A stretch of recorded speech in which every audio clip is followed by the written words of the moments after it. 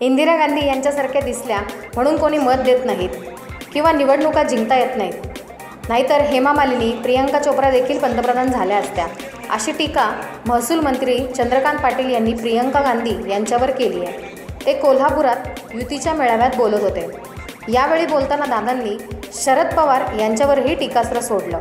शरद पवार यांची लोकप्रियता आता किती राहिली आहे असा सवाल देखील यावेळी दादांनी केला. कोल्हापुरातील युतीची सभा इतकी मोठी झाली पाहिजे की त्याची धास्ती विरोधकांनी घेतली पाहिजे असा असेही दादा यावेळी म्हणाले. असं म्हणून प्रचार करतात. आता दिसण्यावर निवडणूक असती हेमा मालिनी पंतप्रधान झाली असते. मग आमची अलीकडच्या काळातली प्रियांका चोप्रा माधुरी दीक्षित या सगळ्याच झाल्या असतात. रांगेने झाल्या असतात. परंतु ह्या देशातला वा माणूस इतका सुज्ञ आहे. आश्चर्य वाटावं अशी ह्या देशाची लोकशाही आहे. अक्षर लिहिता येत नाही. म्हणजे माझ्या वडिलांना अक्षर लिहिता येत.